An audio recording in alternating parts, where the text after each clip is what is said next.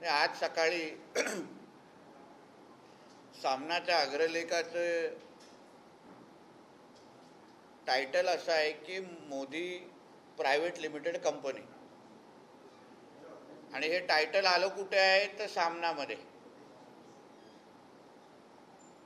आता ज्यांनी शिवसेनेची प्रायव्हेट लिमिटेड कंपनी ठेवलेली आहे करून ठेवली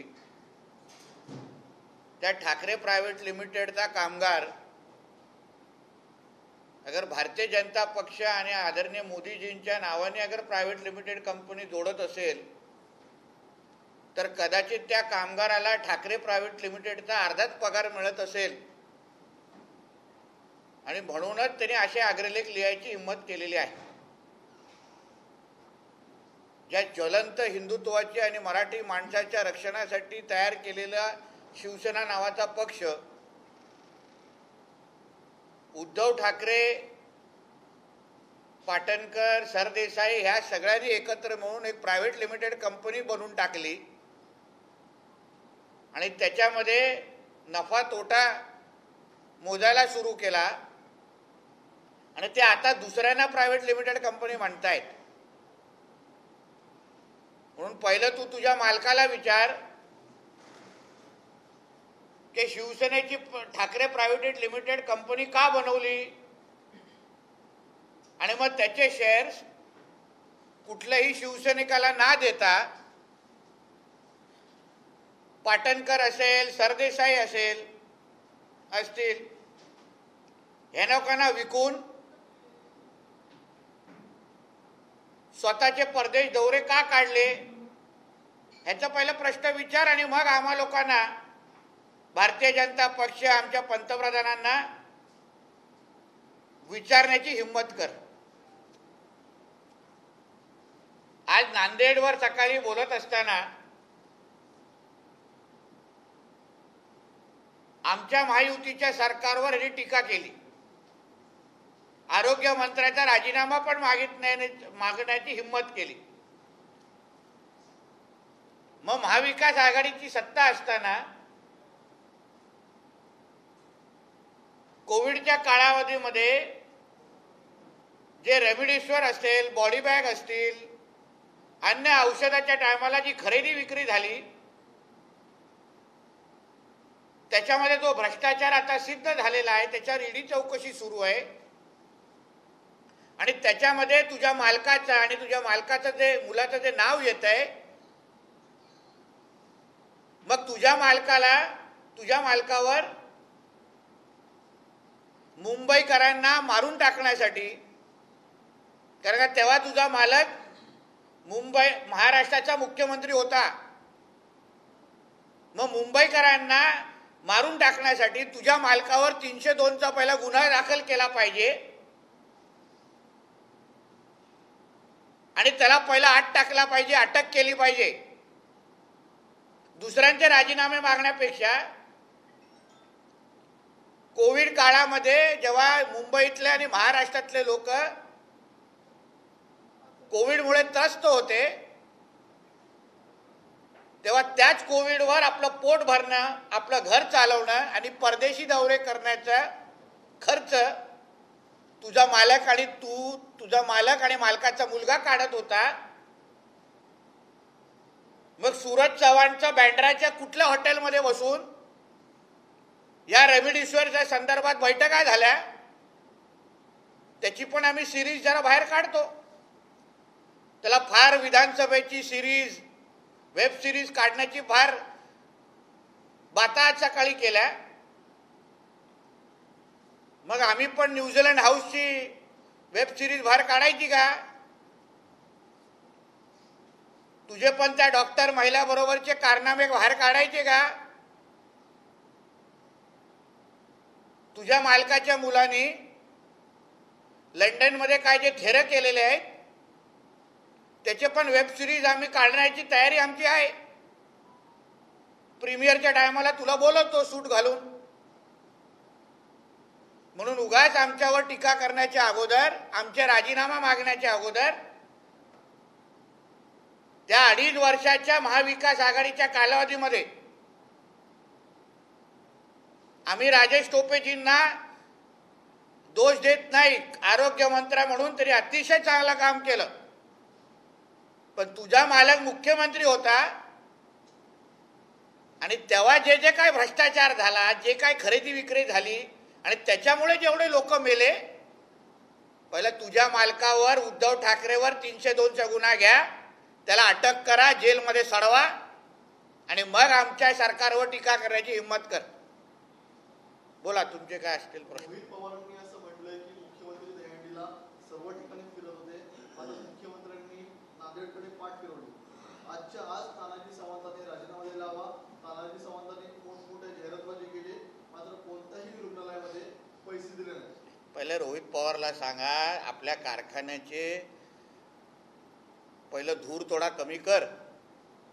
पोल्युशन कंट्रोलचे जे काही नोटिसेस येत आहेत ना त्या धुरामुळे पण लोकांचे आणि कामगारांना त्रास होत असेल त्याच्यासाठी तुम्हाला नोटिसेस भेटत आहेत दुसऱ्यांना सल्ले देण्यापेक्षा स्वतः ओसाड गावचे पाटील झालेले ते बघत नाहीत. स्वतःच्या कारखान्यावर पा पोल्युशन कंट्रोलचे नोटिसेस येत आहेत ते बघत नाहीत. आणि उगाच दुसऱ्यांना सल्ले देण्यापेक्षा पहिलं तुझ्यात कुठून धूर येतोय पहिले ते तपास आणि मग आम्हाला सल्ले दे सर, लँड जिहादचा मुद्दा तुम्ही आज उप- लँड जिहादचा मुद्दा जो आहे तो तुम्ही उपस्थित केला गृहमंत्र्यांदेखील तुम्ही पत्र लिहिलेलं आहे त्याचं तुम्हाला काय सांगायचं? मालेगावमध्ये मोठ्या प्रमाणामध्ये काही शासकीय अधिकारी महसूलच्या शासकीय अधिकाऱ्यांना हाताशी धरून बांगलादेशींचे मोहल्ले बसवण्याचा फार मोठा कार्यक्रम सुरू आहे. काही असे अधिकारी आहेत ज्यांचे ज्यांच्याबद्दल आमच्याकडे फोन रेकॉर्डिंग आहेत कॉल रेकॉर्डिंग आहेत की त्यांना जेव्हा काही पत्रकार मित्रांनी फोन केला तेव्हा त्यांना बाबा हे काहीतरी घे आणि ही बातमी छापू नकोस. इथपर्यंत तो अधिकारी त्या कॉल रेकॉर्डिंगवर बोलतानाचे पुरावे माझ्याकडे आहेत. आणि हे मोठ्या प्रमाणामध्ये जे लँड जिहादच्या माध्यमातून हे जिहादेंना आणि बांगलादेशी आणि रोहिंग्यांची लोकसंख्या वाढवण्याचं काम जे महाराष्ट्रामध्ये आणि मालेगाव सारख्या शहरामध्ये जिल्ह्यामध्ये जे सुरू आहे त्या गोष्टी थांबल्या पाहिजेत. म्हणून मी आदरणीय उपमुख्यमंत्री देवेंद्रजींना मी पत्र आज सकाळी लिहिलेलं आहे. संबंधित अधिकाऱ्यांची पण माहिती दिलेली आहे. आणि माझी अपेक्षा आहे की ह्या अशा पद्धतीचे अधिकारी जे आमच्या राज्यामध्ये बसून बांगलादेशी आणि रोहिंग्यांच्या दाड्या कुरवळतात त्यांना आजचा आज बरखास्त करायला पाहिजे. त्यांना अशा खुर्चीवर ठेवता कामा नये. आणि असे कुठलेही मोहल्ले अनधिकृत मोहल्ले आमच्या महाराष्ट्रामध्ये येत असतील तर ते आम्ही खपून घेणार नाही मुंबईतल्या सहा लोकसभांपैकी चार लोकसभांवरती ठाकरे गट जे आहे ते दावा करते महाविकास आघाडीमध्ये अ, ते चार जागा ज्या आहेत ते मागणार आहेत त्यांचं असं म्हणणं आहे की आम्ही चार जागा ज्या आहेत ते मुंबईतल्या लोकसभेच्या जिंकू शकतो असं ठाकरे गटाची तयारी सुरू आहे आता त्यांची मागणी त्यांनी त्यांच्या आपसात केली असेल. मागण्यासाठी ते अठ्ठेचाळीसमधून पन्नास जागा पण मागतील. त्यांना काही शक्य आहे आता. मुंबईमध्ये तुमची ताकद राहिली आहे का? तुमचे कार्यकर्ते राहिले आहे का? नगरसेवक राहिले आहेत का? आणि तुमची हिंमत असेल तर आदित्य ठाकरेला एका त्या चारमधून एकाकडे उभे करा. कारण का वरळीमध्ये का आदित्य ठाकरे दोन हजार चोवीसला लढवत नाही? मी ऐकलंय की वरळीमध्ये जसं सुनील शिंदेची बळी घेतलंय तिथे आता चोवीसला अजय चौधरीची बळी घेणार आहे. म्हणून दुसऱ्यांची बळी घेण्यापेक्षा तुझ्या मुलाला कुठेतरी उभं कर. आणि बघ तू जिंकून येतो का? ते डिपॉझिट जप्त होतं?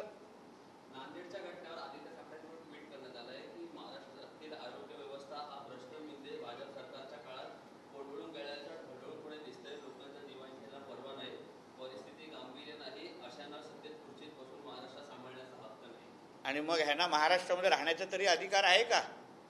कोविडच्या काळामध्ये रेमडेसिवीर बॉडी बॅग म्हणजे प्रेतांच्या मधून पण किडनी बिडनी चोऱ्याचे धंदे हे लोकांनी केले असतील. त्याचे पुरावे आमच्याकडे आहेत. की हे आदित्य ठाकरे सूरज चव्हाण हे कुठल्या हॉटेलमध्ये बँड्राच्या कुठल्या हॉटेलमध्ये बसून मुंबईच्या मृत्यूंच्या टोळीचं लोणी खाण्याचा कार्यक्रम करत होते याचे पुरावे आमच्याकडे आहेत. म्हणून उगाचच्या ट्विटवर बडबड करण्यापेक्षा तुझ्यासारखा सरकार असताना तू काय मृत्यूच्या नावाने तमाशा करत होतास ना त्याचे सगळे पुरावे दिले तो लोक रस्त्यावर चालायला तुला देणार नाही चपलाने मारतील अशी अवस्था करतील. म्हणून उगाच आम्हाला संदेह देऊ नकोस संदे आम्हाला सल्ले देऊ नकोस. आमचं महायुतीचं सरकार हे जे जे आता आज जो नांदेडची परिस्थिती आहे अन्य उपरुग्णालयांची परिस्थिती आहे ते सुधारण्यासाठी सक्षम आहेत. तुमच्यासारखं आजाराच्या नावाने आणि कोविडच्या नावाने आपलं घर आणि पोट आणि परदेशी दौरे करत करत बसत नाही.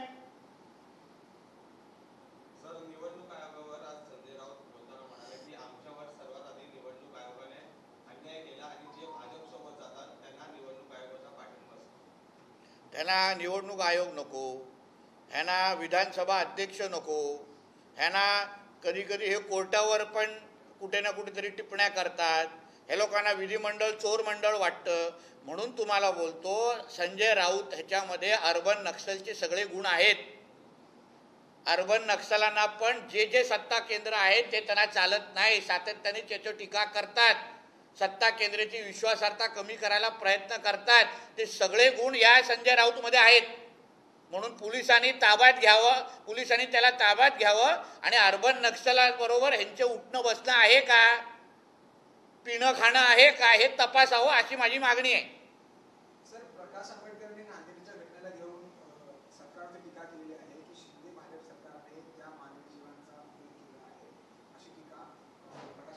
आता ते विरोधी पक्ष म्हणून करणारच कारण आजकाल त्या जे ज्यांच्या मांडीला मांडी लावून ते बसलेले आहेत तो जगातला म्हणजे सर्वात चोर माणूस आहे उद्धव ठाकरे. हां. ते म्हणून त्यांना अन्य सगळ्या लोकांनाच ते प्रकाश आंबेडकरची नावं ठेवत बसतायत. कोणाला चिंदी चोर म्हणतात कारण सर्वात मोठ्या चिंदी चोरच्या मांडीला मांडी लावून तेच बसलेले आहेत. ज्याने आयुष्यामध्ये सगळं फुकट म्हणून जगलेलं आहे. म्हणून प्रकाश आंबेडकरजींना सांगेन की थोडं जरा तुम्ही त्या उद्धव ठाकरेची संगत कमी करा कारण का संगतचा असर आता दिसायला सुरू झाला आहे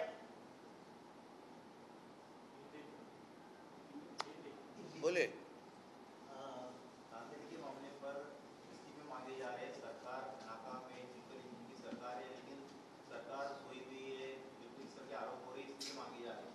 देखिए इस्तीफा नांदेड़ के इंसिडेंट पे जो जो हमारा इस्तीफा मांग रहा है उनका कैरेक्टर पहले पूछना चाहिए। उनका खुद का कैरेक्टर ढीला है। उनका सिर्फ़ सभी जब महाविकास आघाड़ी की सरकार थी तभी यही संजय राउत यही उद्धव ठाकरे, यही आदित्य ठाकरे। तभी कोविड के वक्त में सभी जो इन्होंने मेडिसिन दी थी रेमडेसिविर दिया, इसके ऊपर काला धंधा करने का काम ये सभी कर रहे थे। तो इनको क्या नैतिक अधिकार है? हम लोग के ऊपर इस्तीफा मांगने का। और हमारी सरकार जितनी मदद कर सकती है, सभी करने वाली है। आज भी दोपहर को हमारे हसन मुशरफ जो मंत्री है, वो जा रहे हैं। हमारे पालक मंत्री गिरीश भाऊ उधर जा रहे हैं। कल से सबके टच में है। हमारे देवेंद्र जी सब पे ध्यान दे के बैठे हैं। तो हमारी सरकार पूरी तरीके से नांदेड़ के लोगों को मदद कर रही है। और जो इस्तीफा मांगने के, मांगने वाले लोग हैं, वो खुद ही सब चोर है। चोरों को हमको बात करने, पूछने का अधिकार नहीं है दूसरी बात है कि अ, न्यूज़ क्लिप को लेकर आज सुबह से ही एनआईए और दिल्ली पुलिस मुंबई पुलिस की रेड चल रही है कई सारे इसमें पत्रकार भी है आरोप ये है कि इनका चाइना से उनको फंडिंग होती थी और देश विरोधी वो एजेंडा चलाते थे देखिए, हमारे देश में आज राष्ट्रभक्तों की सत्ता है, सरकार है, पिछले नौ सालों से।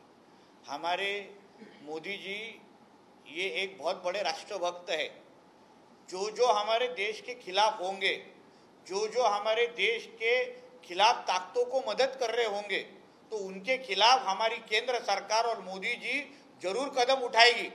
हम किसी भी पत्रकारों के खिलाफ कार्रवाई करना चाहते नहीं अभी नौ साल में बहुत पत्रकारों को सुरक्षित रखने का भी काम हमारे ही सरकार ने किया है। मगर पत्रकारिता के नाम लेके अगर कोई चीन को मदद कर रहा है, पाकिस्तान को मदद कर रहा है तो उनके ऊपर तो कार्रवाई होने ही वाली है।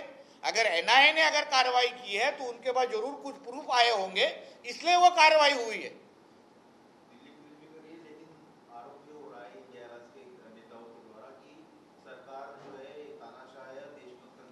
मतलब कल कोई भी पत्रकार का नाम लेके अगर चाइना को मदद कर रहा होगा, पाकिस्तान को मदद कर रहा तो ये इंडिया अलायंस को चलेगा।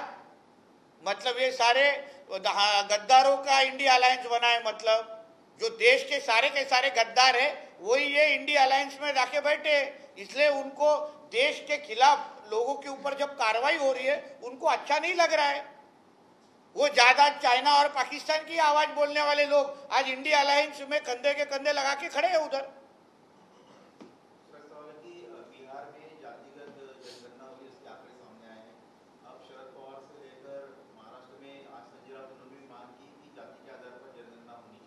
तो उसके ऊपर कल भी हमारे डीसीएम देवेंद्र जी ने उसके ऊपर स्टेटमेंट दिया है। हम भी हमारी सरकार उसके बारे में सकारात्मक है पॉजिटिव है। और सही वक्त पे ये सारी चीज़ें होने वाली है। उसमें कुछ दो राय नहीं।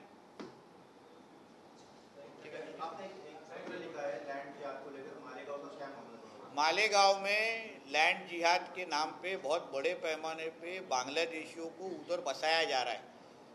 बहुत इसकी बहुत उदाहरणें हमारे पास है और रेवेन्यू के कोई कई अधिकारी है जो इस लैंड जिहाद के पूरे नेक्सेस में उनको बढ़ा उनको पूरा, उनको इनक्रेज कर रहे उस हिसाब से हमारे पास कोई प्रूफ सारे प्रूफ आए हैं, कोई कॉल रिकॉर्डिंग आए हैं, और कुछ सारे के सारे कॉल रिकॉर्डिंग मैंने कलेक्टर को कल सबमिट किए हैं, और उसी नाम पे मैंने आज डीसीएम हमारे देवेंद्र जी को आज पत्र लिखा है कि इस तरीके के कोई अधिकारी हो जो लैंड जिहाद और ये बांग्लादेशी और रोहिंगे को मदद कर रहे होंगे तो उनको जल्दी से जल्दी सस्पेंड करना चाहिए। और इस तरीके का बांग्लादेशी और रोहिंगे को बसाने का कुछ भी अगर कॉन्स्पिरेसी होगी तो उसको महाराष्ट्र में रोक दिया देना चाहिए। थैंक यू एबीपी माझा उघडा डोळे बघा नीट।